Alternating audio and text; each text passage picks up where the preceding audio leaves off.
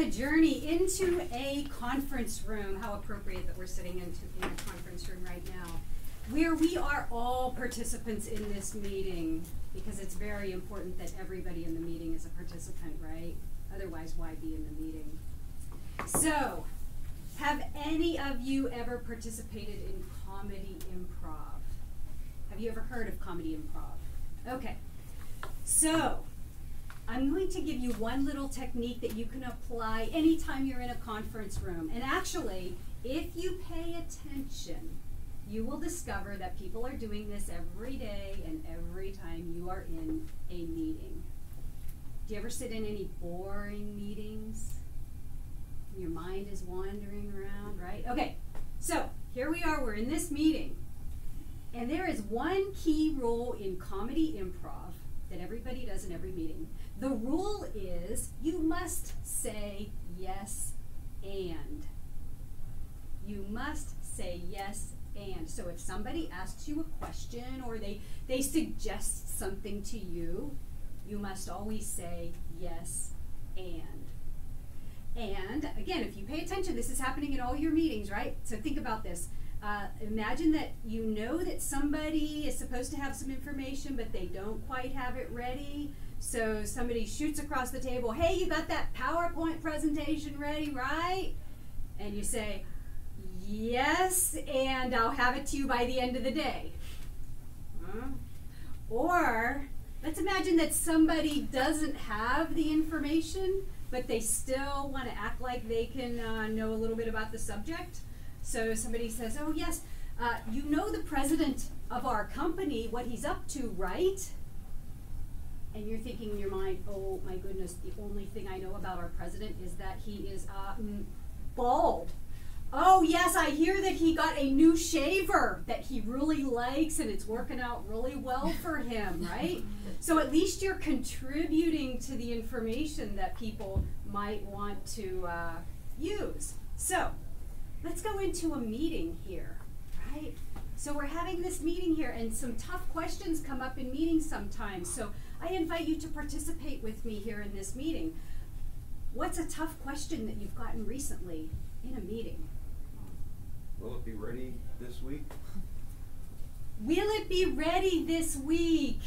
Thank you, Alex. And somebody else, what is the answer? Will what be ready this week? yes. Yes, and? What is it that you need?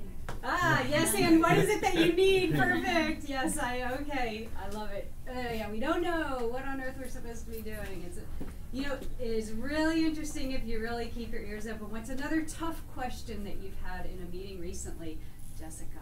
The loaded question Does anyone have a problem with this?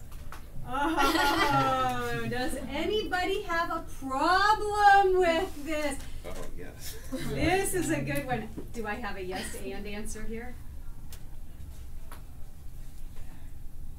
Yes, and I'm sure we can work it out. Ah, Simon, yes, and I'm sure we can work it out. You saved the day. This is interesting. One of the rules in comedy is that if you go down a negative pathway, it can go to a an ugly place where people aren't going to laugh because it's going to be painful and it's going to hurt and they're going to they're going to squirm up, right? So, does anybody have a problem with this? Is like the ultimate question to to like make the whole meeting sink.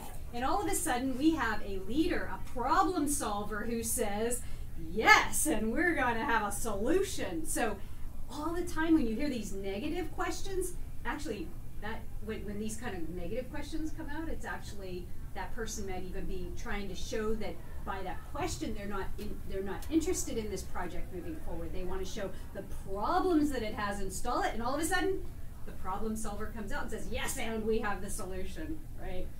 Fantastic. So take yourself back into one of those meetings again. And there was another question out there. What was that question? What's that question? What was that question that you got Why do you keep getting distracted by a buzzing phone? why is this, why does this phone Yay. keep buzzing? Um, I'm gonna keep getting- walking. oh, okay. Right. I understand. Yes, yes. Uh, why do you keep getting distracted? What? Um, Do you really need to have this phone with you all the time? Yes, and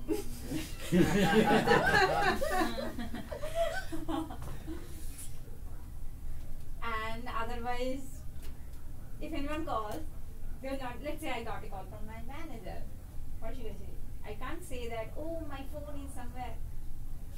Yes, and I always have to be available to my manager. Excellent, excellent. So, this is very interesting. Think about this. Okay, let's take one more tough question. Trump. Can uh, everyone turn off their phones uh, before we start the meeting? Yes, and I did it. yes, yes, yes. Excellent. And and you know what's interesting is when you're in these meetings, you will start to be aware. If you really listen for this, people who are they might not even have the answer, but they just make it up. And you know what? It's actually funny if you really pay attention to how people are answering questions, especially when they're put on the spot and somebody calls you by name, Sebi. And now all of a sudden, here comes a question. Am I ready? Right? But but catch the ball. Go ahead and catch it. You can you can ping it back like you know like ping pong. Oh, yes, and you know, catch it. But don't don't divert it. Diversion is diversion drops it right. But go ahead and catch it. Say yes and and then even if you don't have the right answer, if you say something funny, the rest of the group is going to be happy that you were honest about it. So use humor, use the number one rule of improv, yes and, in all of your meetings, and all of your meetings will be more fun, and people will like you more.